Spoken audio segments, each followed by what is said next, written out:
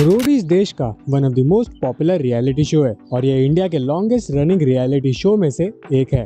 पर कैसे हुई थी रोडीज की शुरुआत? कैसे टेलीविज़न पर लाया गया था ये यूनिक कॉन्सेप्ट कौन थे रोडीज सीज़न वन के कंटेस्टेंट और अब वो सब कहाँ है? जानेंगे आज की इस वीडियो में। रोडीज का पहला सीज़न 2003 में रिलीज़ हुआ था। शायद आपको ना पता हो but Roadies was partially inspired by the US TV reality show called road rules पहले रोडीज का नाम एक्चुअल में रोडीज नहीं था।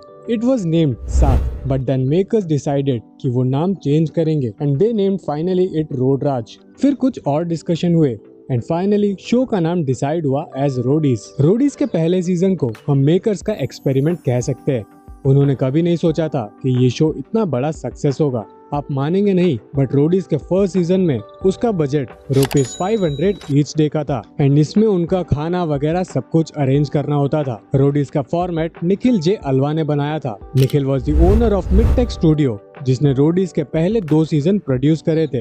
निखिल ने रोडीज को एक ऐसा शो चाहा था, जिसमें वो इंडिया के यूथ को एक साथ ला सके through social work and random act of kindness अब बात करते हैं रोडीज के सीज़न वन के कंटेस्टेंट्स के बारे में। रणविजय सिन्हा, सबसे पहले बात करेंगे रोडीज सीज़न वन के विनर रणविजय सिन्हा की। रणविजय ने रोडीज जीता और फिर वो रोडीज के साथ ही जुड़ गए।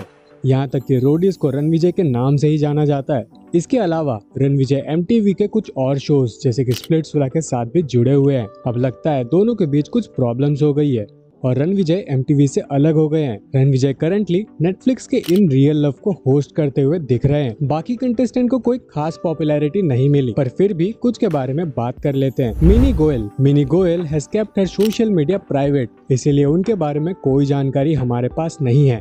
दिव्या शुक्ला बात करें दिव्या की तो वो बेंगलोर से थी। शो के बाद से ही उनके बारे में कोई इन्फॉर्मेशन अवेलेबल नहीं है। रंजीत बजाज। रंजीत बजाज अब एक माउंटेनर और स्विमर है। 2013 में ही made a record of highest altitude swim on the Limca book by an Indian Natasha Gulati Natasha की बात करें तो वो रोडिस के बाद से ही ऑन स्क्रीन नहीं दिखाई दी है। वो अपने हस्बैंड के साथ गुड़गांव में रहती है। नूर बेंस नूर पंजाब से थे। अब ही सेटल्ड इन यूएसए और वो एक child and adolescent psychiatry doctor है। टोनी कोडिलिया टोनी पुणे से थे। एंड अब वो गोवा में रहते हैं। वो एक इंडस्ट्रियल डिज़ाइनर है। He is head of production at Josmo studio so that's it for today कौन है आपका फेवरेट रोडीज विनर हमें कमेंट करके ज़रूर से बताएँ। वी होप आज की वीडियो आपको पसंद आई हो। इफ़ यस तो वीडियो को लाइक करना ना भूले। एंड ऐसी ही और वीडियोस के लिए don't forget to subscribe the channel